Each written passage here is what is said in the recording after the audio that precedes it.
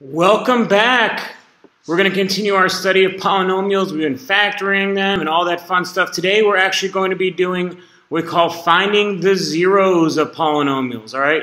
The zeros are very important and we'll, we'll touch on them all year and pretty much the rest of the time you study math, you're going to talk about the zeros of polynomials.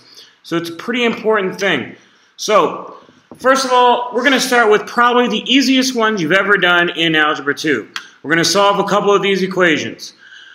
4 times a equals 0. So if I divide by 4, a would equal 0. In other words, when I have two things I'm multiplying here, and I know one of them, the other, if it equals 0, it has to be 0. What times 6 equals 0? Again, a has to equal 0. Negative 10,000 times a equals 0. Whenever I multiply two numbers and the answer is 0, one of the answers must be 0. A lot of you don't like fractions, but I when I multiply by something that has to equal zero, that something has to be zero. In other words, we have this big property here. You're, you're kind of seeing this. It doesn't matter what I do. Anytime I multiply, could be two things, could be three things, could be four things. Anytime I multiply, and my answer is zero, well, one of the factors, one of the things I'm multiplying has to equal zero. And that really does give us this really great and more, muy importante property. It's called the zero product property. And that says if I have two things, A times B, and it equals zero, then either the first factor, A, equals zero, or the second factor, B, equals zero. All right? So whenever you have two things multiplying, one of them is going to equal zero. So take a look at this. I have two things right here. I have one factor, now it's a little bit more extensive, and I have a second factor, and I'm multiplying them. So I can set each of these individual factors equal to zero to determine what my x is. So here I would subtract 1, 0 minus negative, uh, minus 1 is negative 1. So x could be negative 1, or I could add 1 here, right? Add 1. 2x would equal 1. Divide by 2, x could equal 1 half. In other words, if I were to plug negative 1 in, negative 1 plus 1, this whole thing would be 0. Then 0 times that would be equal 0. Likewise, if I were to plug a half into here, 2 times a half is 1. 1 minus 1 is 0. 0 times that equals 0. zero product property is really, really big, and you can see where we're going with this. We're going to solve things by factoring them and then setting them equal to zero. Awesome. So here we're tasked with the directions of find the zeros. All right, that seems simple enough. So we talked about this before. We need a factor, and then we're going to set those factors equal to zero. All right? Equal to zero. All right, so when I look at this, the first thing is, I guess actually we should set the whole thing equal to zero, right? Step number one would set the whole thing equal to zero. And we have some choices here. But the choice you always, always want to make sure is that your highest exponent, in this case, it would be this term, negative 5x squared, is positive. And since that's a negative, I'm going to move that to the other side. So I'm going to add 5x squared over here.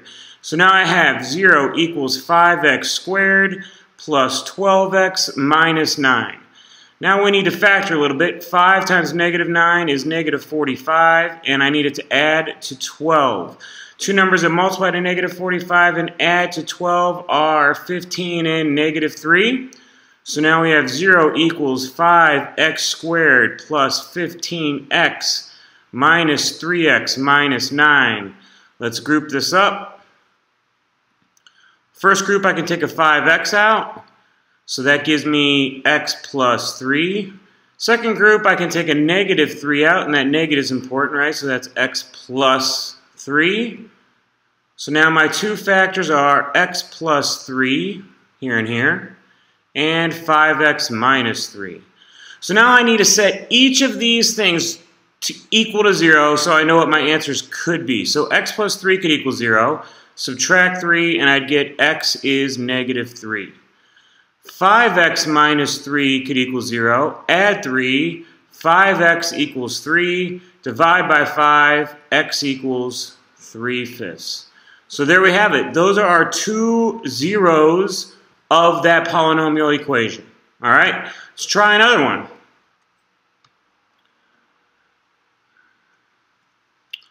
So now we have 8n to the third minus 3n squared equals 32n minus 12. So again, we want to get our highest degree, make it positive. So it's to the third power. So I'm going to move negative 32n to the other side. And I'm going to add 12 to the other side. All right, so now I have 8 n to the third minus 3n squared minus 32n plus 12 equals 0. Uh, I'm going to group right off the bat here because they have four terms. Here I can only take an n squared out, so that'll give me 8n minus 3. 32 and 12, I can take a negative 4 out, so that's 8n minus 3.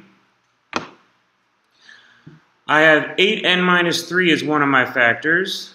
And then I have n squared minus 4.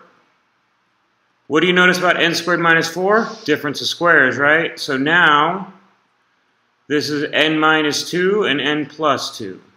Hopefully, if you haven't been in a mastery-based classroom before, now you're starting to see why it's so important. If you didn't learn how to factor in sections 1 through 3, you're going to be hurting today, all right? All right, 8n minus 3 equals 0. That's 1. Or it could be n minus 2 equals 0. Or it could be n plus 2 is 0. Because if any of one of these three factors is 0, when I multiply, it's going to equal 0. So let's do this first one. Add 3, 8n equals 3. Divide by n, or divide by 8, and I could, 3 eighths is my first answer. This one, add 2, could be 2, Subtract 2, negative 2. There we have it. All right, these instructions are a little bit different. This one just simply says solve this equation. Solving is just the same thing as finding the zeros, all right? We set it equal to 0, which in this case it already is, and then we solve. Now notice we have this thing equals 0 and this factor equals 0. If we can look at this and set this equal to 0,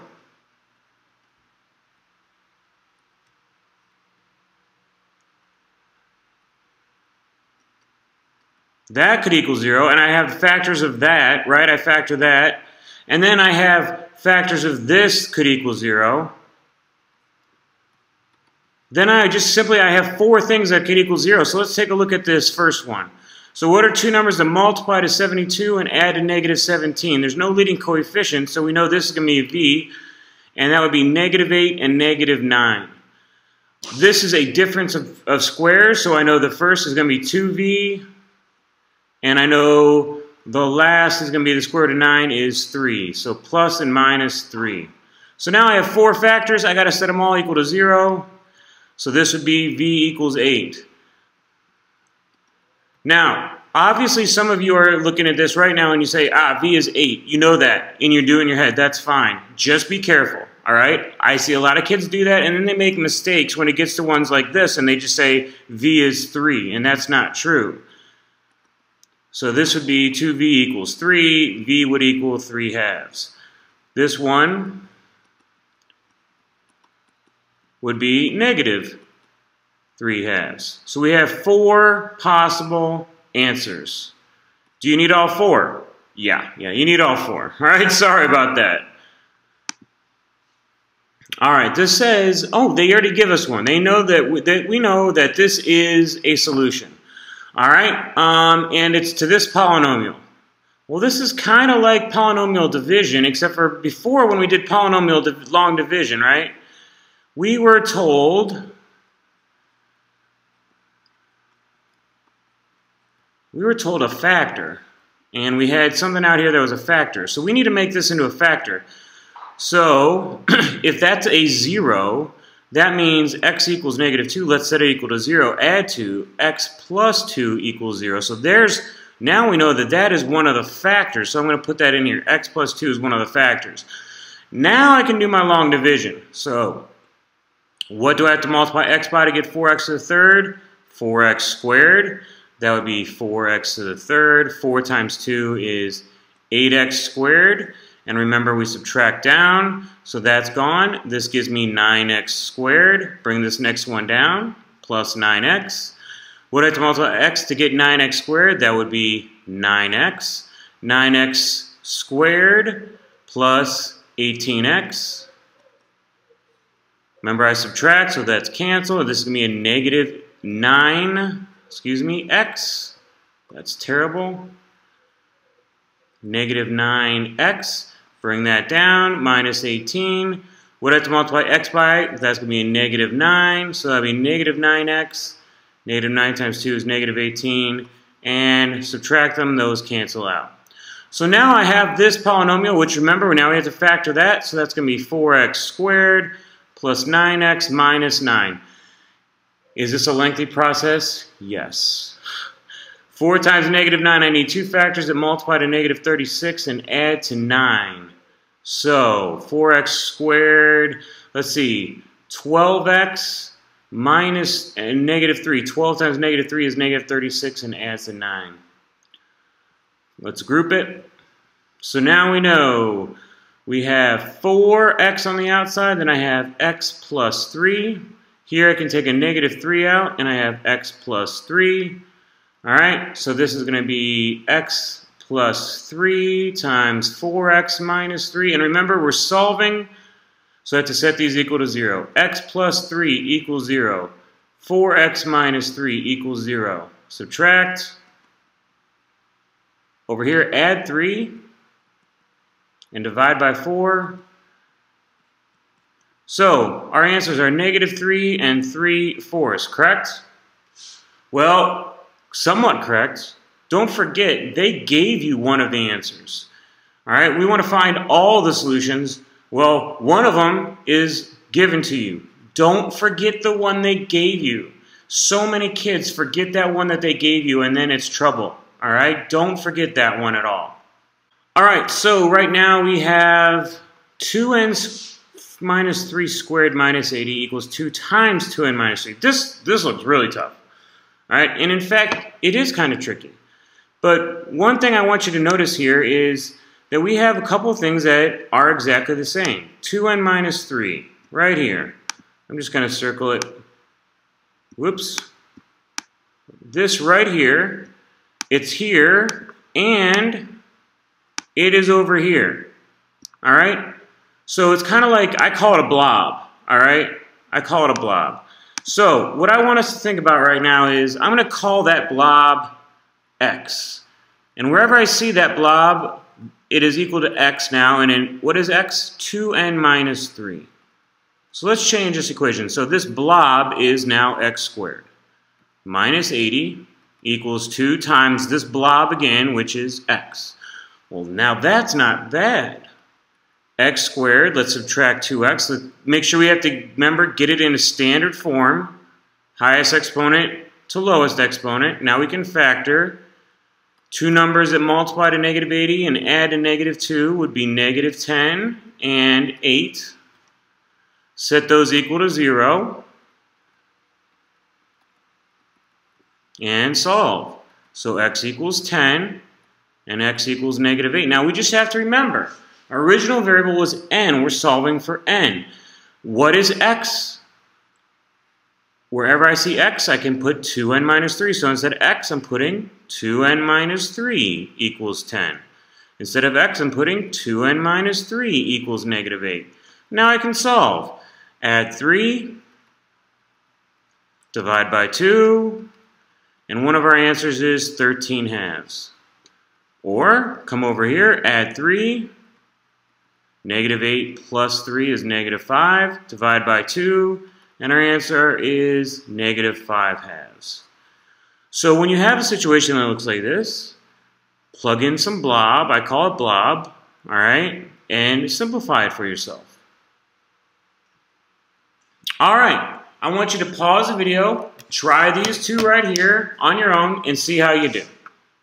So on this first one, the first thing we need to do is get all our variables on one side, all our terms on one side. And when we did that, we had four terms, standard form. Remember, it had to be highest exponent to lowest. Then we grouped. And when we grouped, we got a difference of squares, solved it 7 fourths, 1 half, or negative 1 half. Over here, I said I'm going to let x equal this blob, p minus 4. x is going to equal this blob, p minus 4. So then I changed it to x squared plus 2x equal 24. Easy enough to factor. Once I got my x's, I re-plugged in p minus 4 and solved it for that. If you need to and want to pause and look at my solutions a little bit longer, that would be great. Anything to help you learn. Remember, it's all about learning here, okay? Go out in that world and be the change you want to see. Have a great day.